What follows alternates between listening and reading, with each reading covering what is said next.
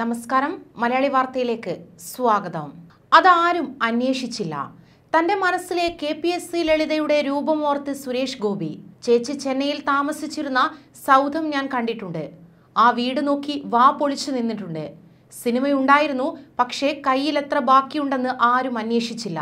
അങ്ങനെ K P S C Lalitha വിട വാങ്ങിയിരിക്കുകയാണ്. അവർ ഓരോ താരത്തിലും ഉണ്ടാക്കിയ വിടവ് ചെറുതല്ല. തന്നിൽ K P S C Lalitha ഉണ്ടാക്കിയ ചലനം തുറന്നു പറയുകയാണ് സുരേഷ് ഗോപി.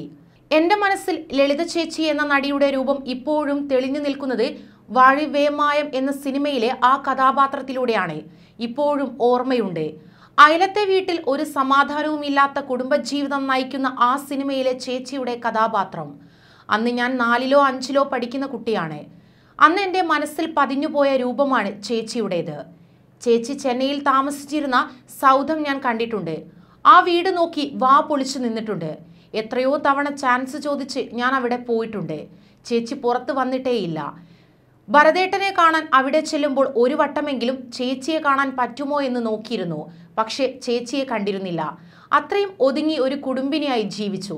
അതിൽ നിന്ന് ഭരതേട്ടൻ ഇല്ലാതായതിനു ശേഷം ആ രണ്ടു മക്കളെ വളർത്തിക്കൊണ്ടുവരുന്നതിന് പിന്നിൽ അവർ എടുത്തൊരു പ്രയത്നമുണ്ട്. സ്ത്രീ ശാക്തീകരണത്തിന്റെയൊക്കെ ഒരു ബിംബം തന്നെയാണ് ലളിത ചേച്ചി. ഭരതേട്ടനില്ലാതെ ഒരച്ഛന്റെ തുണയില്ലാതെ ഒരു മോനെയും മോളെയും വളർത്തി വലുതാക്കി അവരെ എത്തിക്കേണ്ടിടത്ത് എത്തിച്ചു. ചേച്ചി അത്രയും ശക്തയായി നിന്ന് ഒരുപാട് ജോലി ചെയ്തു. പക്ഷേ കയ്യിൽ എത്ര ബാക്കിയുണ്ടെന്ന് ആരും അന്വേഷിച്ചില്ല. അങ്ങനെ ആരുടെയും ദാനം കൈപ്പറ്റുന്ന ഒരു സ്ത്രീ അല്ല ചേച്ചി. ജീവിതത്തിൽ ഒരുപാട് യാതനകൾ അനുഭവിച്ചിട്ടുണ്ട്. എന്നേക്കാൾ കൂടുതൽ ലളിതശ്രീ ചേച്ചിയൊക്കെ അക്കാര്യം നന്നായി അറിയാം.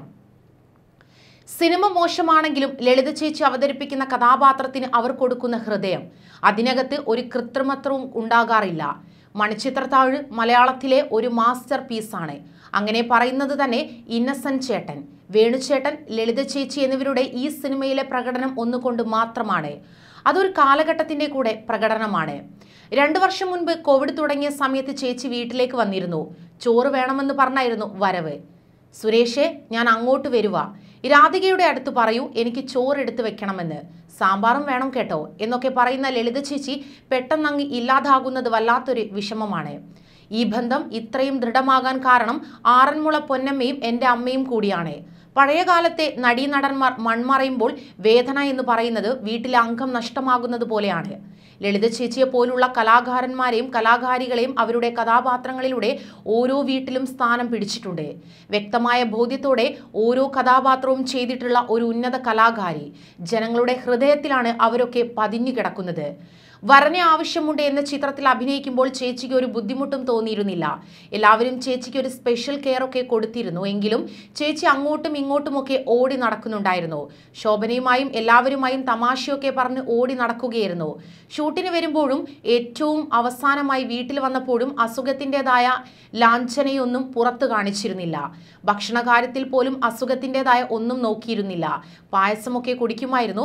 അത് കഴിക്കാൻ പാടില്ല. എങ്കിൽ പോലും ചോദിക്കുമ്പോൾ പറയും പറയും ഓ ഒന്നുമില്ലടാ ഞാൻ ഇന്നൊരു മരുന്ന് കൂടുതൽ കഴിക്കും അപ്പോൾ അതങ്ങ് പോകുമെന്ന്. ചേച്ചിയുടെ ജീവിത ചരിത്രം ചികഞ്ഞു നോക്കിയാൽ അത് അത്ര സുന്ദരമൊന്നുമല്ല. എനിക്ക് വിഷമം തോന്നിയ കാര്യമുണ്ട്.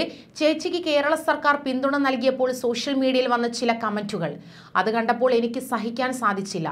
ചേച്ചിയുടെ ജീവിതത്തിന്റെ അവസ്ഥ അങ്ങനെയായിരുന്നു. ന്യൂസ് ഡെസ്ക് മലയാളി വാർത്ത.